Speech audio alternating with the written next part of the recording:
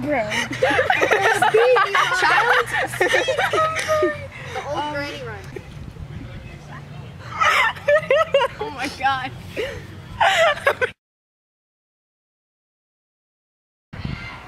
Because it keeps me busy. Okay. Gives me something to do. I would sit on the couch all day if I didn't. Okay.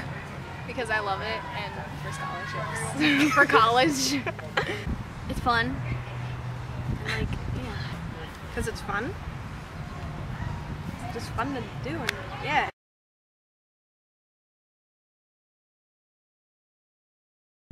Teamwork. Teamwork. Have a positive attitude. Okay. Teamwork.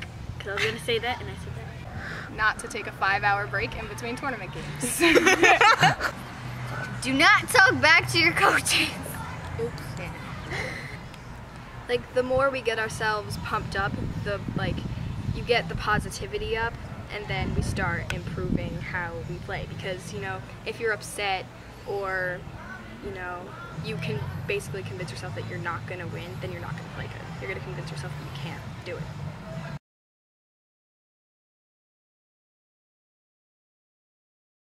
hustle as hard as you can and do the best you can If you don't agree with a coach or an ump or even another girl, just don't worry about it too much. And like, if you're angry at someone, take your anger out on the ball and not like someone on your team, because that's Don't bring the 'Cause that rest makes- of your team down. yeah, Because that makes them feel bad. yeah. Nobody wants to feel, feel bad. And we've done that, and it's like It one of our work. big mistakes. It doesn't work. Mm-hmm. work together. I don't know, that's kind of hard because I don't know. Like, Always be like positive when you're playing. Oh, never let the fear of striking out get in the way of hitting the ball. like I don't know. When someone gives up, the whole Well, team I- gives up. I know, but it's Yeah, kind of like A bad attitude won't bring you anywhere. It won't.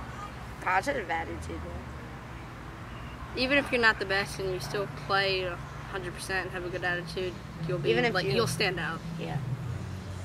Don't take things too seriously. Don't like get mad at little things. Don't cry, because there's no crying in softball. I don't know. This is it's kind of difficult to think of all this stuff, but Every play, it, it's a new play, so. like, My most important piece of advice would have to be don't give up on yourself because once you give up on yourself, it spreads throughout the whole team, and then we have like a bad attitude, and everyone gives up on themselves. And that's like the worst thing ever because we can't bring ourselves back up because we're all brought down because of one person. when you're fielding, get the ball first before you try to throw it because I've fumbled it many times. I'd probably say just I know you want to win, but it's more important to have fun because like did you just play softball to win? No.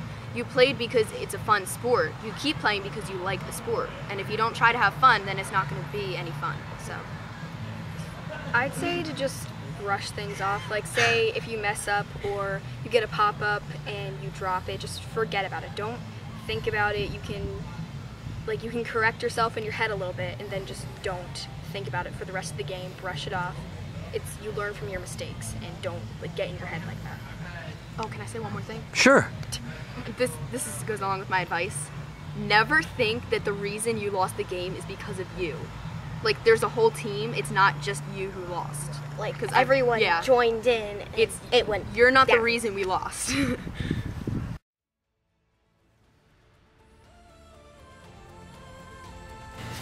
any team can become an amazing team because in the fall we didn't win one game, and then in the spring we won.